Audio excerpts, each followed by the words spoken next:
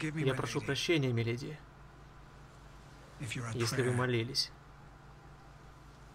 Я давно закончила. Еще в детстве я приходила сюда каждый день. Молилась, чтобы уехать. Тогда я думала о том, чего хочу, а не о том, что имела. Была глупой девчонкой. Ты была ребенком. Чего вы хотите? Я думал, ты знала, чего я хотел. Я ошибалась. Нет, вовсе нет. Каждый раз, как я принимал решение, я всегда закрывал глаза и представлял себе одну картину. Когда нужно было действовать, я спрашивал себя, поможет ли мой шаг воплотить эту картину в реальность,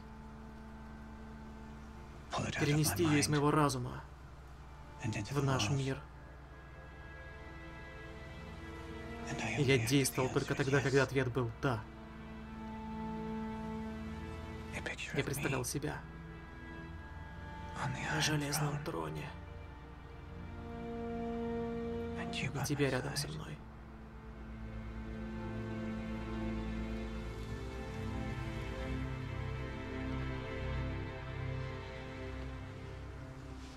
Прекрасная картина.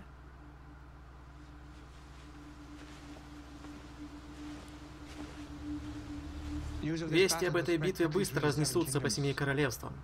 Я поддержал дом Старка во всеуслышание. Вы поддерживали и другие дома, лорд Бейлиш. Это не мешало вам служить самому себе.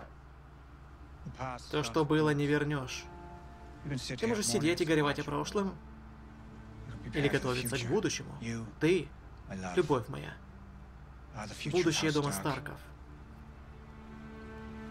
Кого должен поддержать Север?